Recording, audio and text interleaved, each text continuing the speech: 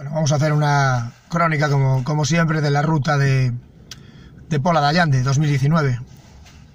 Eh, la primera vez que iba a Pola, eh, muchas veces estuve a punto y no pude, por, por, porque no pude, me coincidió con otras rutas, con averías, con algún viaje. El caso es que no pude. Y, este año sí tenía muchas ganas y, fuimos. Fuimos PJ y yo, los demás no pudieron ir porque algún coche está preparándose, otro homologándose eh, más gente querría ir de Zumbalacazán, pero no pudimos. Quedamos con los amigos de, siempre de, de Asturciabaces, quedamos con la gente de Burgos, eh, quedamos con más gente, bueno, eh, y allí conocimos a, mucha gente, como todas las rutas. Todas las rutas, lo que me gusta es, es que conoces a mucha gente nueva, eh, ves a gente que no ves en otros, en otros lugares, que normalmente lo ves en las rutas porque es la relación que tienes con ellos y da gusto encontrarse con, con viejos amigos, viejos conocidos en Asturias, bueno, lo comentaba con Víctor de Saltasucos, que él en Galicia está como en casa y yo en Asturias eh, no, hay, no, hay, no noto diferencia, no encuentro diferencia. Estoy como si estuviera en Coruña, eh, o en Lugo, o en Pontevedra, en Orense, me refiero. Me pasa un poco en Portugal también, en muchos sitios, eh, como en casa. Después realmente vaya donde vaya, eh, aunque hay gente que piensa que, que, que no tengo amigos, es, es, es, al revés. O sea, puedo estar en cualquier sitio y si necesito algo, gracias a Dios, eh, me lo dejan o, o, me solucionan el problema, esté donde esté. Vaya donde vaya, no voy a nombrar más sitios porque es en Madrid, País Vasco, en Barcelona, en Sevilla, en Valencia, en todas partes. Ya dije Portugal.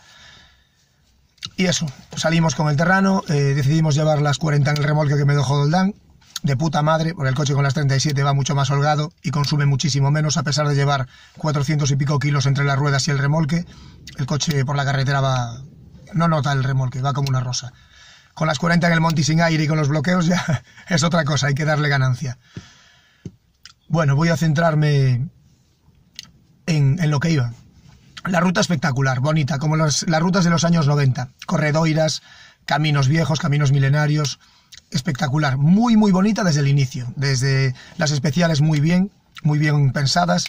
Algunas más sencillas para todos, otras más peligrosas y bien anunciado en el rutómetro, que es verdad, rutómetro Nunca, lo comentaba también con Víctor de noche, tomando una cerveza antes de cenar.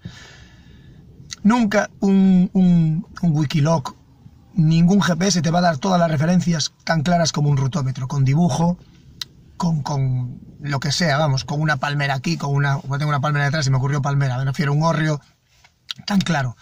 Rutómetro, la ruta rutómetro. Por favor, rutómetro. Somos de rutómetro. Eh, otra cosa es un viaje, una travesía. No es porque no sepa usar los mapas y los GPS, ¿eh? no es eh, soy, estoy chapado a la antigua, pero sé usarlos y bien. Cuando voy de travesía y viaje los uso. Pero en las rutas me gusta el rutómetro. Eh, a lo que íbamos, las especiales, toda la organización muy pendiente, avisando de las especiales, avisando de la dificultad para que nadie se, se estropeara el coche o tuviera un problema, explicando muy bien cómo era, porque es muy importante que te indiquen bien, igual el copy, que la gente de la zona. Llegar a una zona por primera vez siempre es muy difícil. Eh, es muy fácil cuando ya conoces y sabes lo que tienes que hacer, te puedes equivocar pero es muy fácil. Cuando llegas por primera vez a una zona, nadie quiere ser el primero. En eso Santi, que fue el que fui guiando esta vez, normalmente me toca a mí, pero cuando va Santi también lo hace de puta madre.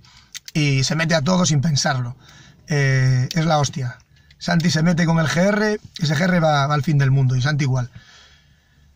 El grupo, ya te digo, lo pasamos de vicio. Un día, el sábado, espectacular.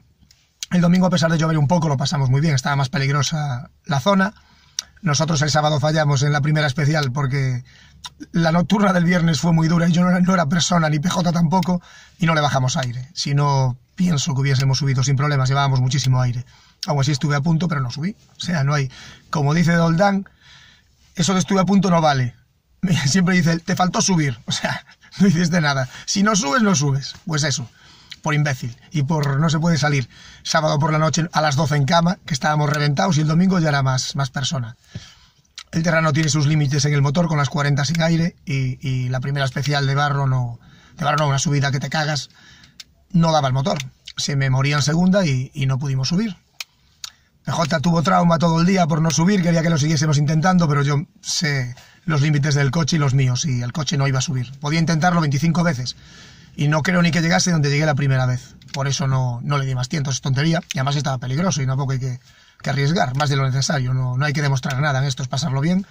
Hay que darle un intento, siempre se dio. pero tampoco forzar más de lo necesario, que no es, no es necesario. Y cualquier persona que dude de un sitio que no se meta. Yo si tengo dudas no me meto. Normalmente tengo muy claro lo que voy a hacer cuando entro en una zona. Pero si no lo veo claro, o veo que mi coche, por lo que sea, no va para esa zona, no me meto y no pasa nada. No, no hay que demostrar nada. Eso, gracias a, todas las personas que estuvieron con nosotros, a los que conocimos en esta ruta, eh, a los que ya de siempre nos llevamos de puta madre. Eh, hay algunos que no nos pueden ver, o a mí eso es normal, no, no podemos llevarnos bien con todo el mundo, eh, ni lo pretendemos. O sea, el que pretenda llevarse bien con todo el mundo no es más que un cínico. Eso, eso es imposible. Te puedes llevar bien con una gente y con otra mal, o regular, pero bien con todo el mundo no, es imposible. Nadie se lleva bien con todo el mundo, por mucho que, quiera aparentarlo. Y eso, de vuelta a casa otra vez, ruedas al carrito, que nos dejaron eh, Eros, Confran y, los, de, los de Burgos todo el material, por eso nosotros no llevamos ni gato de taller ni pistola neumática, nos la dejaron, vamos, como si fuera uno para todos y todos para uno. Fue la hostia la ruta. Comimos todos juntos, con los asturianos, con los de Burgos, con más gente, nos fuimos juntando, pasándolo bien, con gente de Cantabria que conocí aquí, espectacular. Y nada, ahora ya tenemos los teléfonos, eh, aunque el mío lo tenía mucha gente, pero yo el de ellos no. Ya los conocí en persona, ya sé quién es cada uno, porque yo cuando no conozco a la gente no, no me doy cuenta. Cuando me dicen, ¿sabes quién soy? Cuando ya te conozco, sí. A lo mejor me olvido el nombre, que soy un desastre, pero sí. Y eso, que me encantó la ruta, me encantó el ambiente, el viaje lo llevamos bastante bien. Llegué a casa el domingo descansado. La verdad es que el viaje con el terrano y las y el remolque detrás se hizo, se hizo corto. Y un saludo y una, vamos, una felicitación a, la, a Pola Dallande, a, la, a, la gente, a la organización, al club y a todos los que allí estuvieron. Hasta la siguiente. La siguiente más y mejor. Un saludo.